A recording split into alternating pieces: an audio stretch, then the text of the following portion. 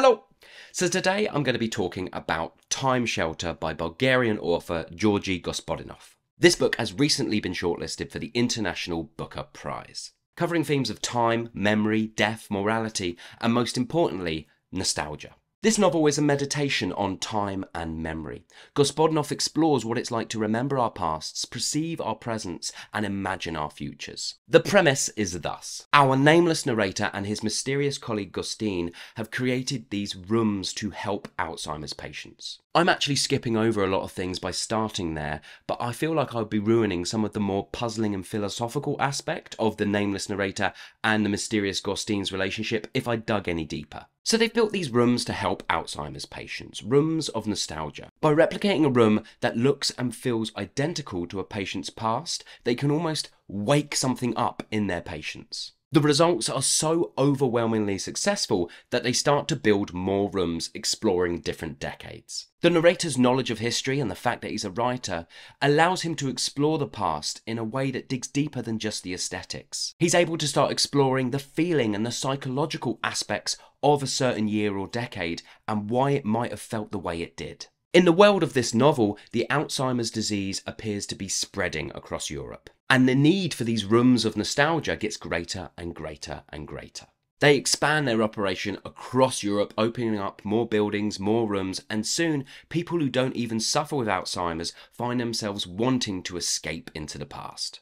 And then everything starts to snowball. The idea of reverting back to one's past, a happier time, starts spreading across Europe. People start exploring old music and technology. Even things as small as sayings start to seep themselves back into the consciousness of societies. Historical recreations become the new big thing as this swell of nostalgia is just taking over. It builds and builds and builds to the point in which entire nations decide to hold referendums in order to decide what decade they should revert back to as a nation. The happy times is what they call them. And finally, we explore what it's like to live in the reality of one's own past. And I'm going to leave that there as far as what happens in this book or what this book is about. I think that gives you a good enough idea of what this book is exploring.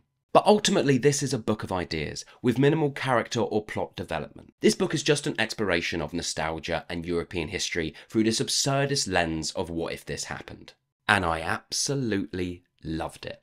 Side note, I think this book works better if you read it slowly. Each section or chapter of this book covers a new aspect or idea of this bulging nostalgia disease and it leaves no stone unturned. But it's the matter of fact and very blunt writing style, which I loved, that doesn't really lend itself to binge reading. I think if you picked this book up each morning and just read a chapter or two and allowed the rest of the day for you to just ruminate on the sheer and vast amount of ideas a single chapter holds within it, the better this book will work. There's something in the writing style and the vast amount of information that's being thrown at you that can start to bog you down as a reader. Or at least that's what I found happening to me. So I decided to step back a bit from this book and slow things down. Give myself time to really think and question everything it was throwing at me. So, what did I like and what didn't I like? What I liked. So I've already mentioned it, but the writing style is just great. It is so blunt to the point and completely stripped of all fat, yet there is such poetry in its simplicity. It is just amazing how Gospodinov is able to bring decades to life in such a vivid and sensory way. What I also really liked is that this book is very, very funny. I mean, it is really, really, really funny. I was laughing out loud constantly. Now, obviously, humour is very subjective, and I imagine one person could read this book and not find a lot of humour in it, and then someone like myself could read it and find it utterly hilarious. But it is just so sharp. And I've mentioned this a few times already as well, but what I really liked is how historically rich this book is. It should be taught in schools. The detail it goes into through the history of Europe through such an interesting lens is just brilliant. The level of research that went into this book is also to be commended. The way that it can blend the really small idiosyncratic details with these huge political paradigm shifts all at once is just great. This book also just feels so relevant to contemporary society. Across the past five years, maybe even longer, I've just noticed this absolute obsession with the mainstream in the films, TV, and music that we are consuming that really lends itself or pushes on the idea of our feelings of nostalgia. And this book does a really good job at also highlighting how that isn't really that healthy. Having lived through Brexit and experienced many conversations with people of the older generation about the good old days and reverting back to the good old days. Yeah, I mean, very, very fitting with what this book is exploring. Second side note, I loved how in this book, England was not allowed to take part in the nostalgia referendum due to the fact that they were no longer a part of the European Union. and finally, I absolutely loved how philosophically jam packed this book was. When I eventually decided to slow down with it, I was able to just give myself so much time to question and think about everything it was throwing at me. It begs to be reread or read slowly. What didn't I like? Now, this could be because I decided to read this book very, very quickly, or it could just be a failing of the book. But the middle section got a little bit sluggish. The writing style and pace sort of bogged down on me a little bit. I think it also comes down to the fact that some of those middle sections I just wasn't as intrigued by as a reader. Someone else might be absolutely invested in those ideas, but yeah, that middle section just didn't grab me as much. But I think with a book of this style and how much information it's throwing at you, there are going to be some sections that don't grab you as much as others do.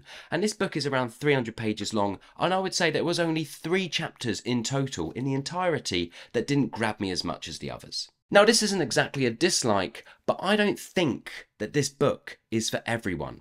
As mentioned, it's got minimal plot and character development. It is just a book of ideas, which might not be to everybody's taste. It also didn't affect me on an emotional level at all. I found it fascinating and intriguing and brilliant, but yeah, emotionally, there's nothing in there that's really affecting me in that way. There were a few things that started to get there, but nothing that impacted me in a big way. Future Andy here. I've just realised whilst editing that I said this book didn't affect me on an emotional level in any way, which is obviously a lie because I found it hilarious, which is, of course, a big emotional reaction. But other than that humour, it didn't affect me in an emotional way at all. And when it comes down to winning the International Booker Prize, I feel like that might be one thing against it. But this book is so totally worthy of being on this shortlist. It absolutely 100% deserves its place on this shortlist. It's the first book I've read from the shortlist, but I would genuinely be so happy if this won. I'm going to give this book 4 to 4.5 stars out of 5. Fascinating and hilarious. So, have you read this book? What did you think about it? Did you love it? Did you hate it? Please let me know in the comments below. And as always, I hope you're well. Thank you so much for watching, and I'll see you all on the next one.